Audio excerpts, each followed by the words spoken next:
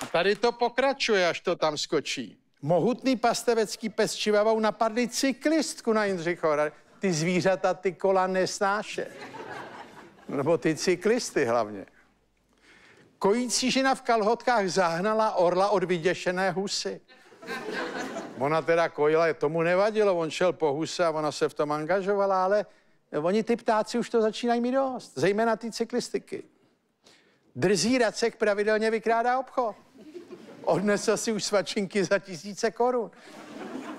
Podívejte se na film od Alfreda Hitchcocka Ptáci, tam je taková předzvěst. Co můžeme čekat? No tohle jiný v práci nepozvali na večírek, vysoudila milionové očkodné, to jsou dnešní trendy, takové novinky.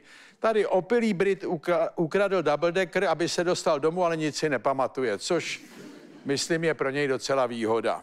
A asi to něco bude stát.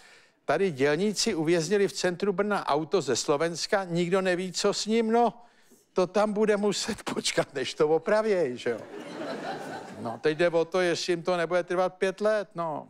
Ale nějak si ho nevšimli v tom zápalu práce. A tohle je takové, když si někdo řekne, že sloganem ve verších zaujme víc, ty můžeš v klidu močit a nemovitosti se budou točit. tak tam nevím, jestli bych se obrátil jako s nemovitostma. No, tak to by bylo všechno.